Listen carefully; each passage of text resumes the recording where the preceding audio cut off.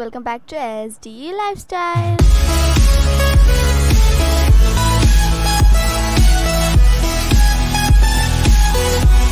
So இன்றைக்கி நம்ம சூப்பரான ரெட் சாஸ் பாஸ்தா அண்ட் அது கூட ரெட் சாஸை எப்படி செய்யணும்னு பார்க்க போகிறோம் ஸோ ரொம்ப ஈஸியான வேலை. வாங்க எப்படி செய்யணும்னு பார்க்கலாம். ஃபர்ஸ்ட் இங்கே நான் ஒரு பாத்திரத்தில் நம்ம தண்ணி போட்டுக்க போகிறோம் என்ன தண்ணி? கொதிக்கிற தண்ணியா? கை வைக்கிற சூடா? எந்த தண்ணியும் இல்லை. நார்மல் தண்ணி நீங்கள் ஊற்றிக்குங்க ஸோ நார்மல் தண்ணி ஊற்றிக்கிட்டு இப்போ இதில் நம்ம என்ன போட போகிறோம் நம்ம உப்பு. டூ டீஸ்பூன் அளவுக்கு உப்பு போட்டுக்க போகிறோம் அப்போ தான் பாஸ்தா நல்லா பாயில் ஆகி வெந்துட்டு வரும். ஸோ அதனால் இப்போ இதில் டூ டீஸ்பூன் அளவுக்கு உப்பு போட்டுக்கிட்டு நம்ம இதில் வந்து முக்கியமான இன்க்ரீடியன்ட் பாஸ்தா இது வந்து சொல்லியிருக்காங்க ஹண்ட்ரட் சுஜி அண்ட் மைதா ஆட்டாவில் செஞ்சுருக்காங்க சொல்லியிருக்காங்க. ட்ரை பண்ணி பார்க்கலாமே. உண்மையாக பொய்யான்னு. ஸோ இப்போ கொரோனா டைமில் மைதா நிறையா சாப்பிடக்கூடாதுன்னு ஸோ இது பா பண்ணி பார்க்குறேன் எப்படி வரணும்னு தெரில. ஸோ இப்போ தண்ணி பாயில் ஆயிடுச்சு. இப்போ நம்ம ஹண்ட்ரட் பர்சன்ட் சூஜி நோ மைதாவில் பாஸ்தாவை நம்ம போட்டுடலாம். ஃபுல்லாக போட்டுடுறேன். ஃபுல்லாக போட்டு நான் மிக்ஸ் பண்ணிக்கிறேன். ஸோ மிக்ஸ் பண்ணிவிட்டு இப்போ நான் இதை என்ன பண்ண போகிறேன்னா இது நைன்ட்டி பர்சன்ட் வரைக்கும் பாயில் ஆகணும். பிரியாணிலலாம் நீங்கள் பார்த்துருப்பீங்க. நிறையா பேர் வந்து பாயில் பண்ணுவாங்க. ஒரு எயிட்டி பர்சன்ட் இல்லை நைன்ட்டி பர்சன்ட் பாயில் பண்ணுவாங்க. கையை வச்சு ரைஸை உடச்சி பார்த்தா உடையணும். ஸோ ரொம்ப வேகலாம் தேவையில்லை ஸோ அந்த மாதிரி தான் நம்ம பாஸ்தா வேக வைக்க போகிறோம் ஏன்னா சாஸ்லேயும் வேகும். ஸோ அதனால தான் இது நைன்ட்டி பர்சன்ட் வெ வெந்தால் இப்போ போதும். ஸோ நைன்ட்டி பர்சன்ட் வெந்ததுக்கப்புறம் உங்ககிட்ட நான் காமிக்கிறேன். ஸோ இப்போ நைன்ட்டி பர்சன்ட் வெந்துருச்சு. அண்ட் எப்படி வெந்துருச்சுலாம் நீங்கள் கேட்பீங்க ஸோ அதனால தான் இப்போ நான் உங்ககிட்ட ஒன்று வெட்டி காமிக்க போகிறேன் மீன்ஸ் கத்தியை வச்சு நான் வெட்டி காமிக்க போகிறேன் ஸோ கத்தி வச்சு வெட்டி காமிக்கிறேன் பாருங்கள் ஸோ இந்த மாதிரி தான் இருக்கணும். ஸோ இப்போ நான் பாருங்கள் இந்த இந்த மாதிரி கை வச்சா உடையணும். ஸோ இந்த மாதிரி தான் இருக்கணும். இப்போ இது நம்ம என்ன பண்ண போகிறோம்னா கம்ப்ளீட்டாக ட்ரெயின் பண்ண போகிறோம் ஒரு ட்ரெயினர் ஸ்டாண்ட் எடுத்துருக்கோங்க. இப்போ அதில் நம்ம பாஸ்தாவை ஊற்றிடலாம் பாஸ்தாவை ஊற்றிட்டுலாம் இப்போ ஊற்றிட்டு இது நம்ம என்ன பண்ண போகிறோம்னா கம்ப்ளீட்டாக கூல் டவுன் பண்ண போகிறோம் ஸோ அதுக்கு நடையில் நம்ம ரெட் சாஸ் பாஸ்தா செஞ்சிடலாம். அதுக்கு ஒன் பெங்களூர் தக்காளி அண்டு த்ரீ நார்மல் தக்காளி எடுத்துக்கோங்க. அண்டு மூணு chillies red chillies Kashmir red chilli கிட்டே இல்லை அதனால இது எடுத்துருக்கேன். அதுக்கப்புறம் ஆரிகனோ சில்லி ஃப்ளேக்ஸ் இப்போ இவ்வளோ தான் சாஸ்க்கு தேவை நிறைய பேர் நிறைய இன்க்ரீடியன்ட் போட்டாங்க. ஆனால் நம்மக்கிட்ட எது அவைலபிளுக்கோ அதெல்லாம் நம்ம யூஸ் பண்ணுவோம். சரிங்களா? இப்போ டொமேட்டோவோட நோஸ் மீன்ஸ் மேலே இருக்கும்ல இந்த மாதிரி.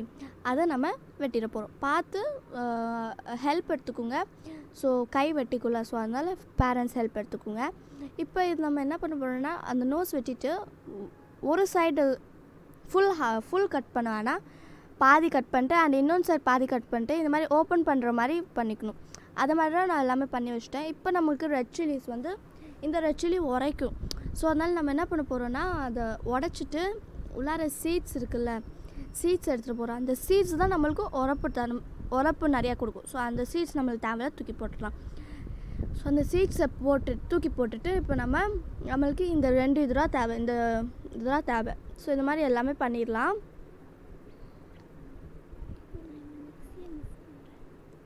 ஸோ இப்போ நான் எல்லாமே பண்ணிட்டேன் பாருங்கள் நார்மல் தக்காளி பெங்களூர் தக்காளியும் இப்படி வெட்டிட்டேன்.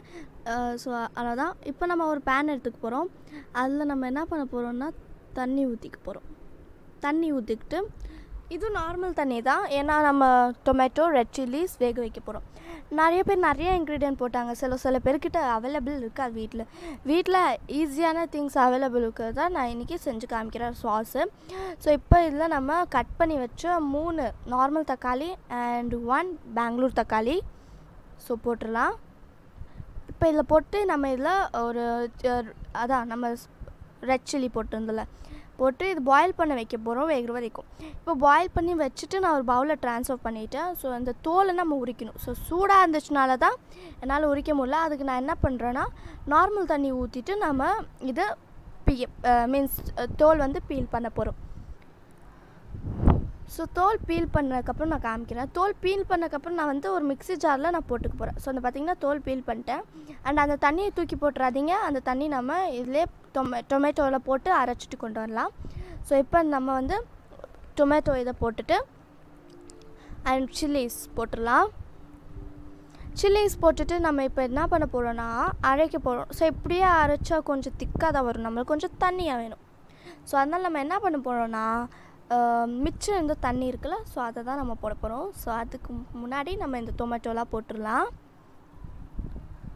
ஸோ இப்போ பார்த்தீங்கன்னா டொமேட்டோஸ்லாம் போட்டாச்சு. இப்போ நம்ம இதில் வந்து தண்ணி போட போகிறோம் நம்ம பாயில் பண்ணி வச்ச தண்ணியை தான் நான் போடுறேன்.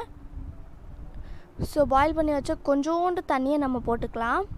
நிறையா போட்டுறாதீங்க. கொஞ்சோண்டு தண்ணி போட்டுட்டு இப்போ நம்ம இதை பாய் சாரி பாயிலில் அரைச்சிட்டு கொண்டுட்டு வர போகிறோம் சரிங்களா? இப்போ அரைச்சிட்டு கொண்டுட்டு வந்துடலாம். ஸோ இப்போ அரைச்சிட்டு கொண்டு வரதுக்கு முன்னாடி நம்ம இதில் ஒரு பேனில் ஆயில் மீன் சன்ஃப்ளவர் ஆயில் எடுத்துக்க போகிறோம் சன்ஃப்ளவர் ஆயில் கொஞ்சோண்டு போட்டுக்கிட்டு நம்ம இதில் என்ன போட போகிறோன்னா கார்லிக் கார்லிக்ஸ் வந்து நான் இங்கே ஒரு பத்து கார்லிக்ஸ் இல்லை ஃபோர் கார்லிக்ஸ் க்ளோஸ் சாப்பாக வெட்டியிருக்கேன். ஸோ அதை நம்ம போட்டுடலாம் சரிங்களா? இப்போ நம்ம வாங்க கார்லிக் போட்டுடலாம்